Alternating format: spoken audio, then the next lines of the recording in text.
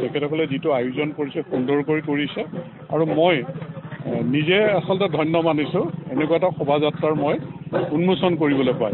এতিয়া যিকি নহওক আমাৰ যিখিনি অনুষ্ঠান প্ৰতিষ্ঠান হয় আমাৰ যিহেতু কৃষ্টি সংস্কৃতি চহকী আমি গতিকে আমাৰ যিখিনি সাংস্কৃতিক গৌৰৱ আছে সেইখিনি এই শোভাযাত্ৰাৰ জৰিয়তে প্ৰতিফলন হৈছে। আৰু এইটো আমাৰ পৰম্পৰা এটা। আমি যিখিনি শিক্ষানুষ্ঠানেই হওক বা হীৰক জয়ন্তী আমাৰ সোণালী জয়ন্তী এই জয়ন্তীবিলাকত এনেধৰণৰ শোভাযাত্ৰাৰ প্ৰয়োজন আছে আৰু সমন্বয় সম্প্ৰীতি এনাজৰিডলৈ টনকিয়াল হ'ব। আৰু মনবিলাক আমাৰ সকলোৱে পৰিষ্কাৰ হ'ব। আমি যিহেতু এখন সৰ্বাংগ সুন্দৰ অসম গঢ়িবৰ কাৰণে দেশৰ ভিতৰতে শ্ৰেষ্ঠ অসম গঢ়িবৰ কাৰণে আমি গৈ আছোঁ আমাৰ মুখ্যমন্ত্ৰী ডাঙৰীয়ে পদক্ষেপ লৈ আছে। যে এই কথাবিলাকে ইয়াত ইতিবাচক এটা প্ৰভাৱ পেলাব। বিভিন্ন প্ৰান্তৰ আহিছে তেওঁলোকে ইয়াত যেনেকৈ অংশগ্ৰহণ কৰিছে যে তেওঁলোকৰ নিজা কিছু সমস্যা বা নিজা কাম কিছুমান আছে। তাৰোপৰি আমাৰ সামগ্ৰিক যিটো চিন্তা জাতিটোৰ দেশৰ কাৰণেও তেওঁলোকে কিছু পদক্ষেপ মাজে মাজে গ্ৰহণ কৰি আহিছে।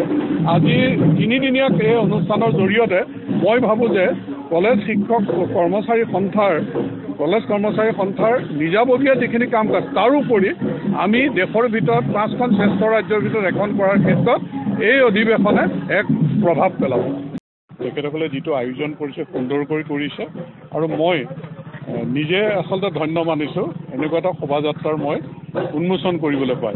এতিয়া যিকি নহওক আমাৰ যিখিনি অনুষ্ঠান প্ৰতিষ্ঠান হয় আমাৰ যিহেতু কৃষ্টি সংস্কৃতি চহকী আমি। গতিকে আমাৰ যিখিনি সাংস্কৃতিক গৌৰৱ আছে সেইখিনি এই শোভাযাত্ৰাৰ জৰিয়তে প্ৰতিফলন হৈছে। আৰু এইটো আমাৰ পৰম্পৰা এটা।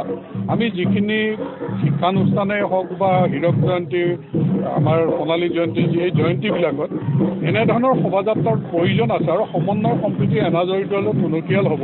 আৰু মনবিলাক আমাৰ সকলোৱে পৰিষ্কাৰ হ'ব। আমি যিহেতু এখন সৰ্বাংগ সুন্দৰ অসম গঢ়িবৰ কাৰণে দেশৰ ভিতৰতে শ্ৰেষ্ঠ অসম গঢ়িবৰ কাৰণে আমি গৈ আছোঁ আমাৰ মুখ্যমন্ত্ৰী ডাঙৰীয়ে পদক্ষেপ লৈ আছে যে এই কথাবিলাকে ইয়াত ইতিবাচক এটা প্ৰভাৱ পেলাব।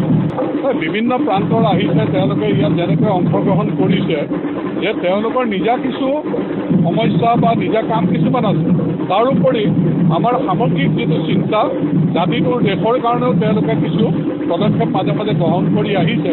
আজি তিনিদিনীয়া এই অনুষ্ঠানৰ জৰিয়তে মই ভাবোঁ যে কলেজ শিক্ষক কৰ্মচাৰী সন্থাৰ কলেজ কৰ্মচাৰী সন্থাৰ নিজাববীয়া যিখিনি কাম কাজ তাৰোপৰি আমি দেশৰ ভিতৰত পাঁচখন শ্ৰেষ্ঠ ৰাজ্যৰ ভিতৰত এখন কৰাৰ ক্ষেত্ৰত এই অধিৱেশনে এক প্ৰভাৱ পেলাব।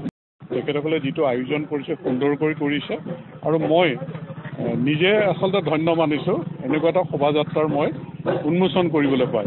এতিয়া যিকি নহওক আমাৰ যিখিনি অনুষ্ঠান প্ৰতিষ্ঠান হয় আমাৰ যিহেতু কৃষ্টি সংস্কৃতি চহকী গতিকে আমাৰ যিখিনি সাংস্কৃতিক গৌৰৱ আছে সেইখিনি এই শোভাযাত্ৰাৰ জৰিয়তে প্ৰতিফলন হৈছে। আৰু এইটো আমাৰ পৰম্পৰা এটা। আমি যিখিনি শিক্ষানুষ্ঠানেই হওক বা হীৰক জয়ন্তী আমাৰ সোণালী জয়ন্তী এই জয়ন্তীবিলাকত এনেধৰণৰ শোভাযাত্ৰাৰ প্ৰয়োজন আছে আৰু সমন্বয় সম্প্ৰীতি এনাজৰিডলৈ টনকিয়াল হ'ব আৰু মনবিলাক আমাৰ সকলোৱে পৰিষ্কাৰ হ'ব। আমি যিহেতু এখন সৰ্বাংগ সুন্দৰ অসম গঢ়িবৰ কাৰণে দেশৰ ভিতৰতে শ্ৰেষ্ঠ অসম গঢ়িবৰ কাৰণে আমি গৈ আছোঁ আমাৰ মুখ্যমন্ত্ৰী ডাঙৰীয়ে পদক্ষেপ লৈ আছে যে এই কথাবিলাকে ইয়াত ইতিবাচক এটা প্ৰভাৱ পেলাব।